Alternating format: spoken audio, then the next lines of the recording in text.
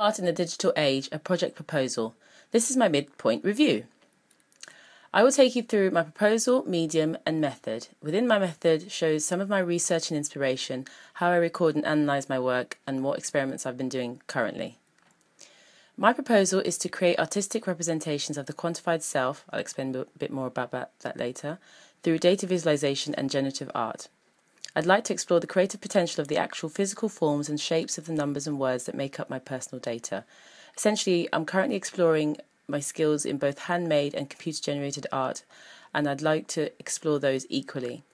I want to create art that is functional and has my own signature abstract style, and find patterns in my personal data to view from a new perspective or hopefully learn from or be inspired by. These are the areas that have inspired me I started looking at generative art and data visualization. Enrico Bertini is a great tutor from NY Polytechnic who advises to explore processing as a tool. This is something that I'd like to do next year.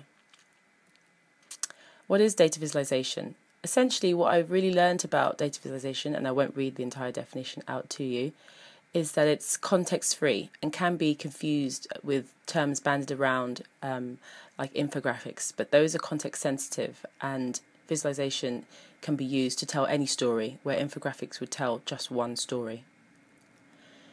I think my work is veering towards more the, the generative art spectrum and uh, end of the spectrum rather, and I see it as an exciting way to produce something with a certain degree of autonomy. Quantified self. There's a lot of this going around at the moment, and I feel that there are more exciting ways to present your data and more artistic ways to present your data, and that is something that I would like to explore. There was a great article written about this in Vanity Fair recently, and I will send that on to you if you would like to read it. I record and analyze my thoughts and work using my blog, Here's some clips of that, and I've been doing that over the last months since the course started. And here are some of my experiments. So I've been um, collecting data using the Nike Fuel Band. Um, this records my calories spent, distance I've walked, etc. I've also been collecting data about my sleep time using a sleep app. Deep sleep versus restless sleep and um, data that I can find through that. There's also tools such as Wolfram Alpha, which allow you to collect tool, um, data about your Facebook activity. I use this data or the idea of the data, which is just ex- essentially numbers and letters, to start experimenting with.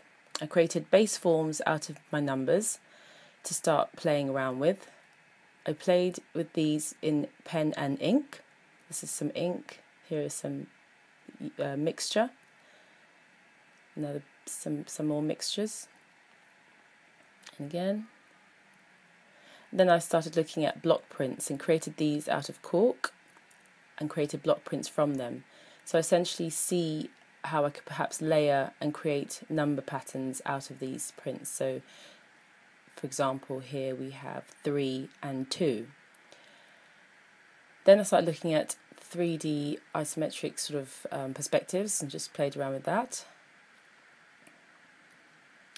Having a look at Roman numerals, so this is 365, such as a time of amount of days in the year. So just looking at letter forms as well as numbers. Here are some number patterns.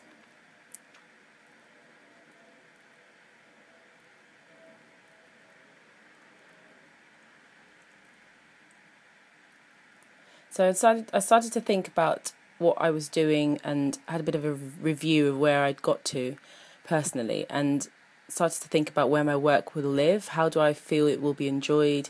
Where will it be displayed or, or how will it be accessed?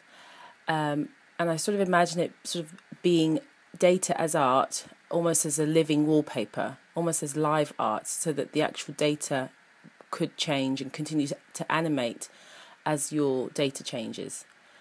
Um, it do, it's, it's, it's almost a, a sort of personal installation.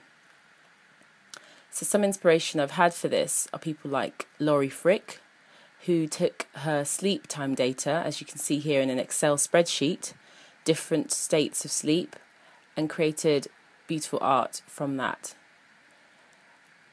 Laurie Frick did something that I want to do, and so did Stefanie Posavec, and this is to create abstract art from data. And Stefanie did that using words, chapters, paragraphs from books, and here you can see comparative um, pieces of art for two different books. And it's something that I would like to do to compare data from one day to the next through some abstract art such as this. She created a key to create her work or for her work to be understood, if not just enjoyed. And here is an example of that. Shows you how each branch is made up.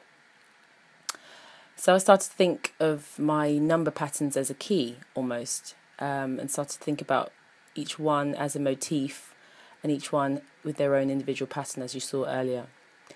Then I started to think about simple data tools and how these patterns could be housed or held. And the easiest way, um, the easiest way that data is displayed are in these simple tools such as charts, pie charts, bar charts, polar area charts. And all they do is really present a percentage of a whole. And that's what I'm thinking about and how the patterns can be displayed. Um, so here's just an example. And you see the Nike Fuel Band on the right. I feel that that could be displayed in a much more artistic way, in a much more traditional artistic way, rather than just using the uh, data visualization tools in their simplest forms. So here's an example of a bar chart from the base forms that you saw earlier, just using those patterns so rather than the simple block flat color using pattern. Then I started thinking about creating a patchwork using shapes. Um, and these are showing percentages of a whole. So each are exactly the same. And the yellow area is showing what what part of that whole you may have achieved or what part of that whole you are um, explaining. Um, so this is sort of an example of of different um, wholes, um, and each each of the color sections sort of um, showing a percentage of that whole. So bottom left, you can see uh, the yellow area is one day of seven days in the week. The blue area is the 17th day of 30 days in the month. And the pink area is the fourth day, fourth month of a 12 month year. So I'm trying to simplify that at the moment. But looking back at patterns, so here we've got um, the number 78 potentially. Um, and just using that idea and mixing it with the idea of a patchwork and percentages of a whole um, to display data. And it's all very work in progress at the moment, and I think it does need to be simplified and it does need to be clearer, but at the same time, I, I don't want to lose that artistic edge. Here's some of the patterns closer up and some more experiments with the, uh, the, the idea of a patchwork. I see it as if these were all containing different pieces of data, i.e., numbers, they could just carry on growing and growing and growing, and each section be connected to the to the previous one, almost as in every day the pattern changes and evolves and moves and grows. And that's it. Thank you very much.